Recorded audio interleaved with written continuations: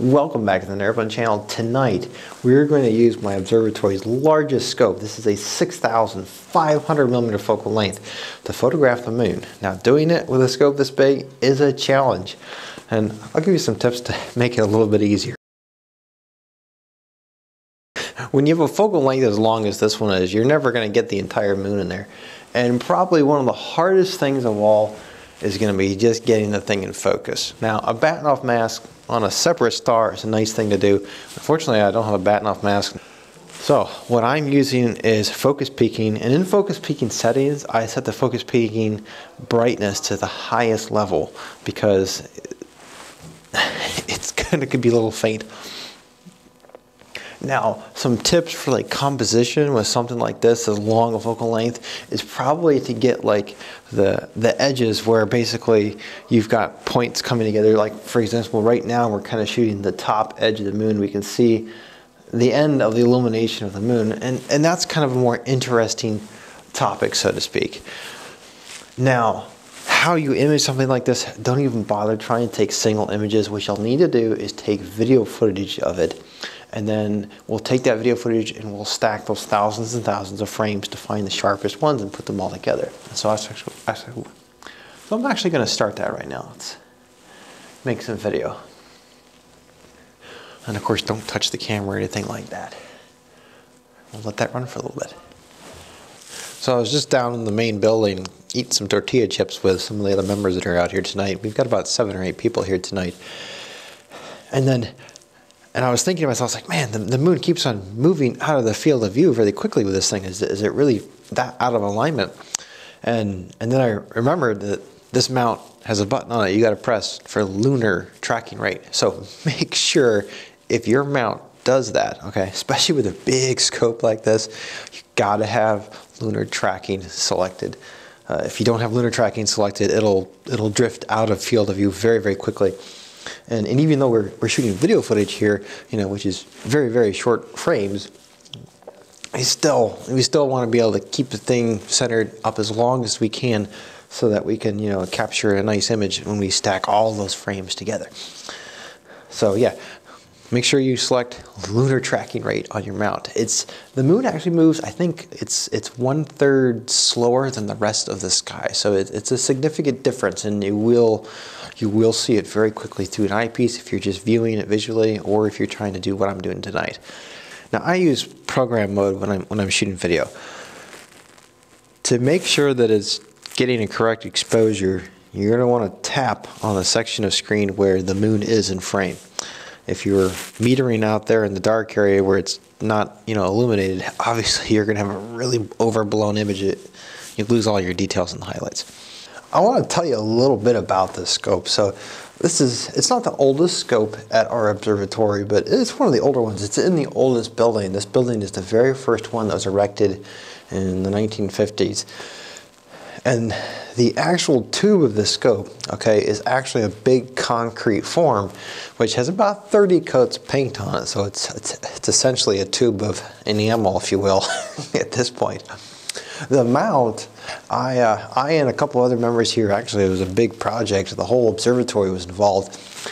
We took this thing completely apart and totally rebuilt it. We had the, the mirrors on it recoated and surfaced and and just you know really really tune this thing up and it's a much more fun scope to use now that it's kind of been tuned up so to speak some things I wish about it you know I wish it was a go-to mount you know this mount is from the 80s or maybe even earlier than that.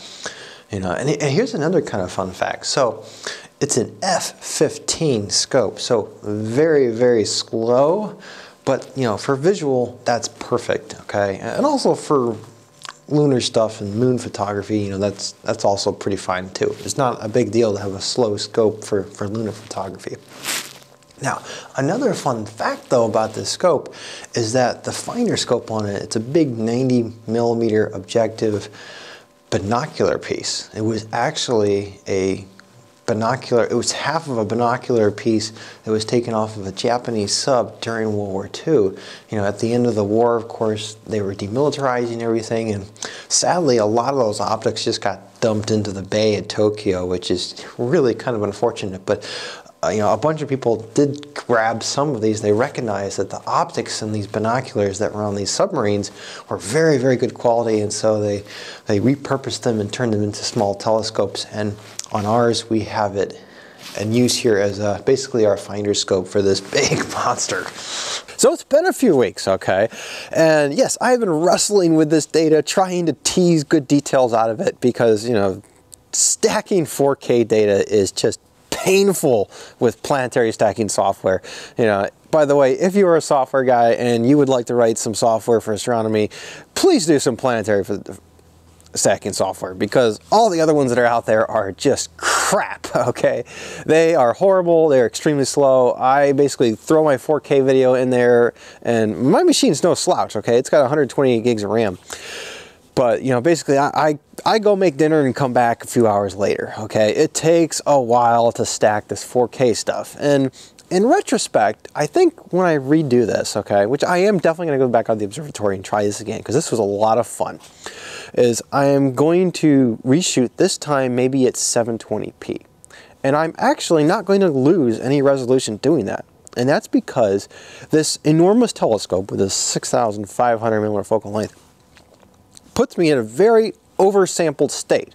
And there was even a member there who kind of mentioned, it's like, man, you're really oversampled right now. Now, I know a lot of you don't know what that means, and I'm going to explain, okay? So, oversampling, let's, let's imagine, okay, let's take the atmosphere, okay, is our lens, okay? It's what we're looking through, and everybody has to look through it. Now, there are certain parts of the globe where the atmosphere is thinner, okay, like on the tops of mountains, where like Mauna Kea, where the big observatories are. Obviously, they have better seeing. They don't have to look through as much air as we do. But down here where I am, I'm only at 350 feet, okay, above sea level, and there's a lot of turbulence in this area, and there's also a lot of jets going through the air. I don't have very good seeing, okay, which means that the resolution of my sky is kind of crappy, okay, and at 6,500 millimeters, even though that classic Cassegrain scopes that we have has exceptionally good optics, yeah, it, basically the image looks blurry, okay? And let me explain to you, okay? So let's imagine that this lens, okay, is only able to deliver to us 5 megapixels resolution, okay? Just 5. Now the sensor in it is a 20 megapixel sensor. So we could actually take our sensor, okay, and we could take all the pixels in it and we could bend them together two by two. So like think of this here as four pixels, okay? We're bending them together two by two. We're basically digitally or through hardware that's in the sensor itself, um, combining those pixels together, making them bigger, okay, and therefore more sensitive because they're larger, all right? And because we've already got a limit of 5 megapixels to our lens, which is the atmosphere in this particular situation, we're going from 20 megapixels to 5 megapixels, the sensor, and we're not losing any, any resolution. However, we're gaining a tremendous amount of sensitivity because we're using much larger pixels now.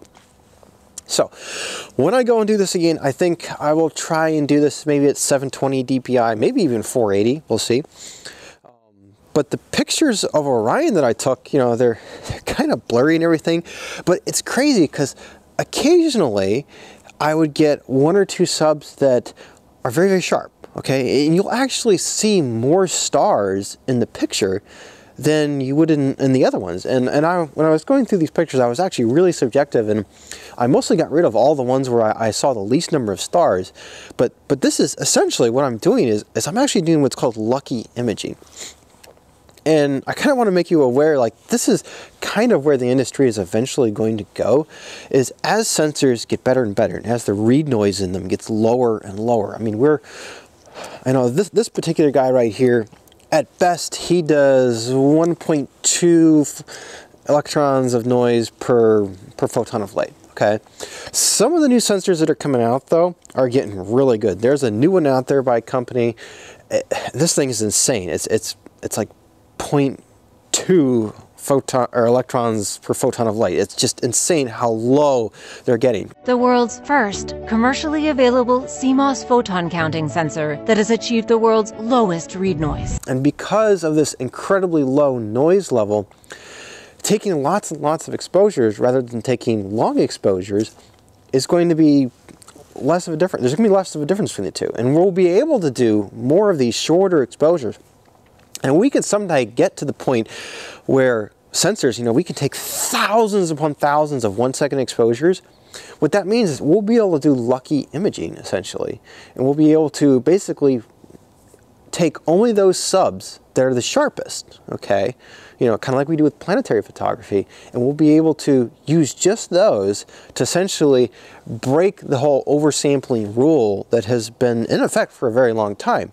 So what is oversampled today, 10 years from now, people are going to be using lucky imaging technology basically and these very, very low readout noise sensors that will allow them to take thousands of short one second exposures and essentially do lucky imaging and therefore break the oversampling rule that has kind of like held a lot of amateur astrophotography back. So that's kind of the future, okay? So should you ever really worry about oversampling though with Olympus cameras, not if you're using any of their lenses, okay? Any of the lenses that Olympus has, even the new 150 to 400, it's not gonna be oversampled in the average sky, okay?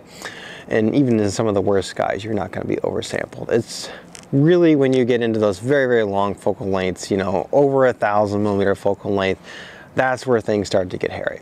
But, you know, I hope you found this interesting and, you know, give the moon a try. It's a neat target. Also give Orion a try.